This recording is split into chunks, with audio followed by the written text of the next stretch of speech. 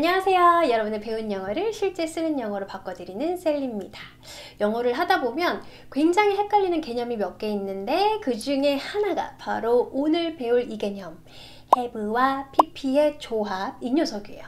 네, 학창시절 영문법 시간에 무진장 배워왔던 개념이고 또 엄청 많이 들어본 개념이지만 막상 써먹으려 하면 입에 쥐가 난 듯하고 머리에 막 버퍼링이 걸려오는 거죠. 왜냐 우리는 영어를 할 때 동사 하나 쓰는 것도 버겁게 느껴지는데 동사의 모양을 변형시키는 공식까지 적용시키기가 너무 힘들거든요 그렇다고 have, pp라는 녀석을 무시하기에는 정말 정말 영어에서 빼놓을 수 없을 정도로 많이 쓰이는 표현이기 때문에 어떻게든 배워둬야 하죠 하지만 어, 걱정 마세요. 제가 오늘 have와 pp의 조합 형태를 공식으로 외우는 게 아니라 그 뜻을 정확하게 이해하셔서 무려 세 가지의 문장 구조를 활용하실 수 있게 해드릴게요. 특히 마지막에 나오는 이 세 번째 개념은요 한국인이라면 무조건 틀리게 되어 있는 거라 또 중요하니까 끝까지 집중해 주시기를 부탁드릴게요. 일단 have와 pp의 조합은 왜 쓰이는 걸까요? 이것부터 짚고 넘어가야 우리가 have, pp가 들어간 문장 구조를 제대로 이해를 하실 수가 있어요. have는 가지다, 소유하다 라는 의미의 동사고 과거분사 pp는 완료가 된 상태를 나타내는 형용사죠. 즉 이 둘을 같이 쓰게 되면 완료가 된 상태를 갖는다라는 의미를 넣어줄 수 있게 되는 겁니다. 자, 뭐라고요? 완료가 된 상태를 가지고 있다. 우선 첫 번째, have와 pp의 조합 가장 유명한 현재 완료입니다.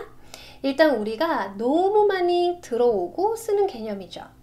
한국말에는 없는 개념으로서 영어에서는 과거에 완료가 된 상태를 현재에도 가지고 있다라는 의미, 즉 과거에 끝난 일이 현재의 의미를 지니고 영향을 끼칠 때 사용을 하죠. 나 그 영화 봤어. I saw the movie 라고 하면 과거의 사실만 언급을 하는 거지만 I've seen the movie 라고 하시면 그 영화를 이미 봐서 그 내용 이미 알아. 그래서 나 또 보기 싫어.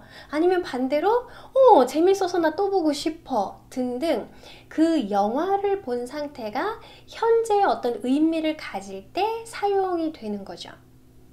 따라서 현재 완료형은 현재와의 끈을 확 끊어버리는 명확한 과거 시간이랑은 사용하지 않습니다. 나 두 달 전에 그 영화 본 적 있어. 뭐뭐 한 적이 있다라는 한국말에 현혹되시면 안 되고요. 과거 시간이 명확하게 나와 있기 때문에 I saw the movie two months ago 라고 하셔야 되는 거죠. 완료된 일에 그 영향과 의미가 현재에도 이어지고 있음을 나타내는 현재 완료는 이 영상에서 그 정확한 개념과 또 한국인이 많이 틀릴 수밖에 없는 포인트를 상세하게 다루고 있거든요. 안 보신 분들은 꼭 참고를 해주세요.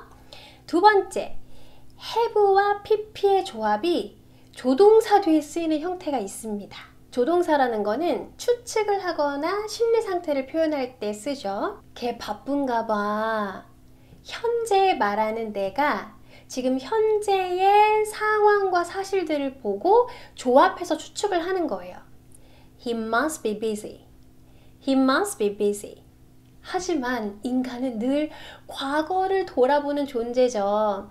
현재 말하지만 이미 다 끝난 완료가 된 사실들을 가지고 추측하기도 해요. 걔가 바빴겠지. He must have been busy.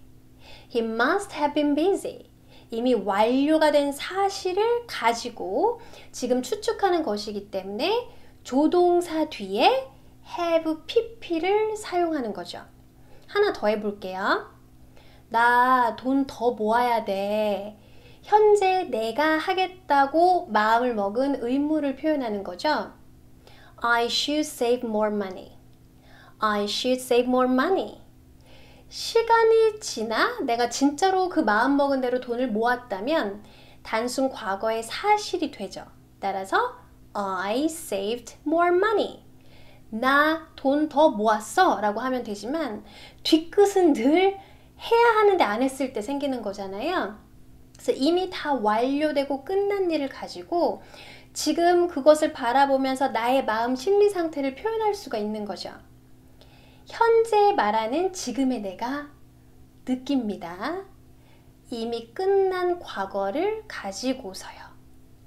I should have saved more money. I should have saved more money. 나 돈 더 모았어야 됐는데 과거의 사실을 떠올리며 지금 느끼는 심리 상태, 즉 후회라는 감정이 표현되는 거죠. 뜬금없는 공식이 아니라 다 이렇게 합당한 이유가 들어간 형태라는 게 보이시나요? 자, 그럼 세 번째. have 목적어 pp의 조합입니다. 한국말에는 아예 없는 개념이라 엄청 많이들 틀리시니까 귀 쫑긋 세워주세요. 목적어가 완료된 상태를 가지다 라는 거예요. I had my car washed. 내가 세차가 된 상황을 가졌다 라고 해서 한국말로 이역하면 나 세차했어 가 되죠. 한국말 해석 때문에 I washed my car가 생각이 나시겠지만 그렇게 쓰게 되면 동작을 행하는 주체는 주어인 내가 되는 거기 때문에 내가 직접 세차를 하는 게 되는 거죠. 하지만 I had my car washed라고 하면 세차가 된 상태를 제가 그냥 가진 게 되기 때문에 직접 하지 않고 맡겨서 세차했다라는 의미를 표현할 수가 있습니다. 제가 지금 보이실지 모르겠는데 지금 눈 달에 끼가 났거든요.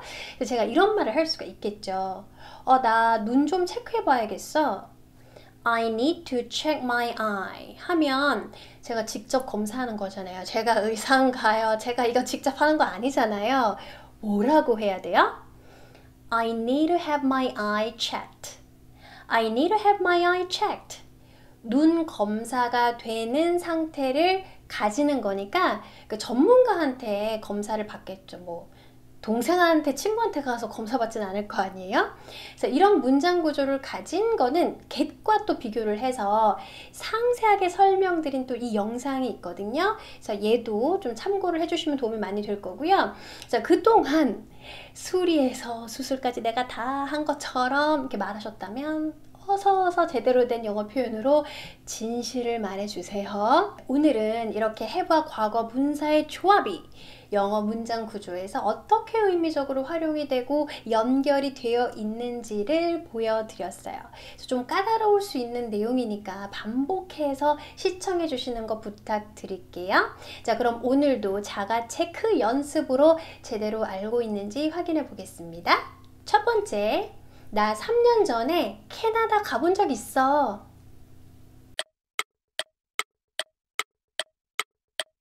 I went to Canada three years ago.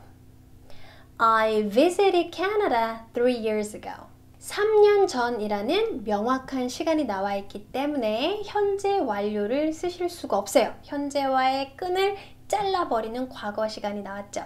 뭐 I went to 하셔도 되고 I visited Canada 하셔도 의미는 같습니다. 두 번째, 나 타코 먹어본 적 있어? 해보실게요. I've had tacos before. I've eaten tacos before. 먹어봐서 맛있더라. 그래서 나 어떤 맛인지 알아. 나 좋아해. 나 싫어해. 현재의 의미가 있는 거고요. had 쓰셔도 되고 eaten 쓰셔도 의미는 비슷합니다. 세 번째. 뭐? 피터가 피곤해 보였다고? 걔 아팠을 거야. 추측을 할 수 있겠죠? 해보실게요. Did Peter look tired? He must been sick. Did Peter look tired? He must been sick. 과거의 사실을 제가 보면서 현재 추측할 수 있겠죠. 완료된 사실을 가지고 추측하는 거니까 must have pp 쓰시면 돼요.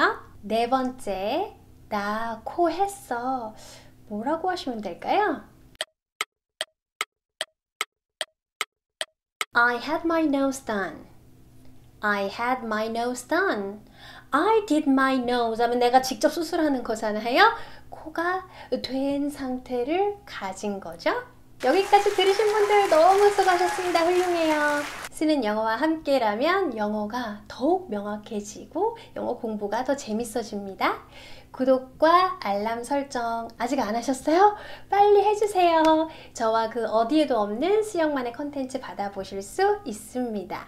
이 영상도 도움이 되셨다면 좋아요와 힘이 되는 댓글 부탁드려요. 저는 다음 영상에서 또 더 재밌는 내용으로 찾아뵐게요. 수고하셨습니다. 바이.